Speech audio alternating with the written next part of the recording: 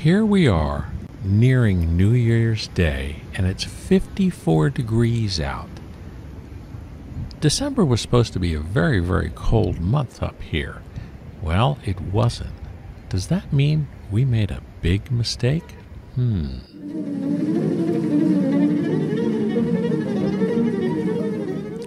I chose to insulate the hives at the beginning of December. Well, actually, it was after Thanksgiving, so it would be the end of November. Uh, December was supposed to be cold, and it wasn't cold. Bees seem to do pretty well, even in some extreme conditions. Our feral hive this summer taught us that. This hive was dilapidated, yet had been through many, many of their cold winters. So the question was did insulating the hives as early as we did cause the bees to be too active during December and uh, possibly decrease the population of the hive through all their cleansing flights.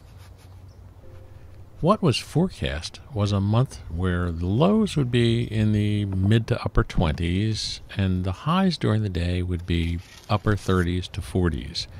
Uh, instead, we kind of averaged about 10 to 15 degrees above that. If I had known this was going to be the case, I probably would have held off insulating the hives till January, beginning of January. With the insulation in place, the hive bodies themselves stayed warmer and the bees stayed more active.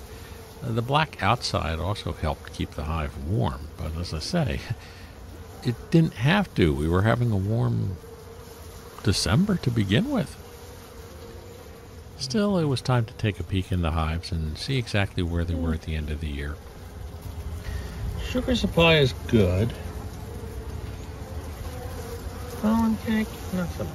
Now, as we are officially in winter, the amount of times we check the inside of the hive will also be reduced. Um, chances are I'm not going to have too many videos out uh, between now and mid February. We're only going to go in maybe once every two weeks and just take a peek at things.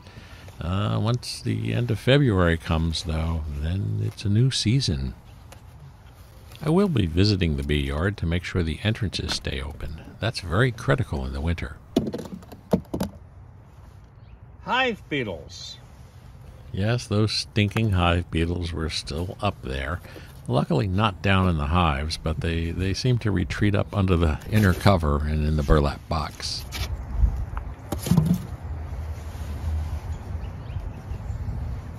More hive beetles. The food stores in all three hives appeared to be pretty good. It's interesting, uh, though you can't really open up the hives, or you really shouldn't open up the hives unless it's an emergency, you can still tell a lot by two factors. As you pull the burlap out, how moist is it? How much wetness has accumulated? And how much heat is coming up from inside the hive? That'll tell you if the colony's healthy. The moisture and heat are produced by the bees in the cluster below. If you have heat and you have moisture, then you've got a good cluster. You can hear by the volume downstairs that there are plenty of bees deep in. Another thing that is interesting is the type of sound the bees are making can tell you a lot about what's going on. There's three different sounds that you're really looking for.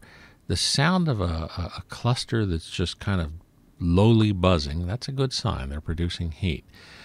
They can also make sounds if they're in distress, such as there's no queen. They'll have a very aggravated sound. Or if they're just annoyed by the hive being open, that'll just be a peak of sound. All three hives had a nice low purr to them, which, in, in my opinion, was a very good sign that the clusters were doing well. It's amazing as you pull the burlap up, as the heat comes up like a sauna. Bees like to keep that brood nest around 90 degrees or so, so you'll really feel it when you open up the hive. Oh, yeah. Another good sign that they're down there doing their thing, and another reason you don't want to open up the hive on a very cold day. They seem to be happy. They've reduced the amount of sugar. They're not as fond of the winter patties. That's okay. They have a fat content that they're probably getting out of the, the pollen stores that they still have below. And they'll always take the natural stuff before they take the artificial stuff.